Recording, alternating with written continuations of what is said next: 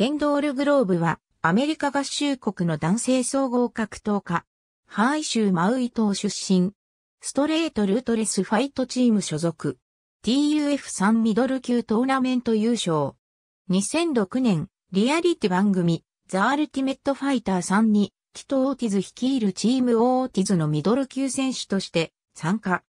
トーナメントでは1回戦で、ロスポイントン、準決勝でカリブスターンズを下し、UFC デビュー戦となる6月24日のフィナーレでは、エド・ハーマンに判定勝ちで、トーナメント優勝を果たした。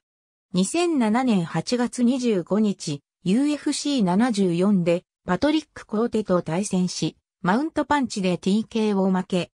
2008年6月21日、ザ・アルティメット・ファイター、チームランページ VS、チームフォレストフィナーレでエヴァン・タナーと対戦し、判定勝ち。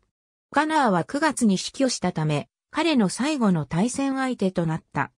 2009年3月7日、UFC96 でジェイソン・デーと対戦し、右ストレートでダウンを奪ったところに、肘打ちで追撃し、TKO 勝ちを収めた。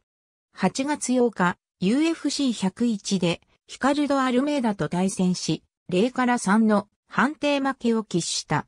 11月21日、UFC106 でジェイク・ロショルトと対戦し、三角締めで一本勝ち。2010年4月10日、アブダビで開催された UFC112 でマーク・ムニョスと対戦。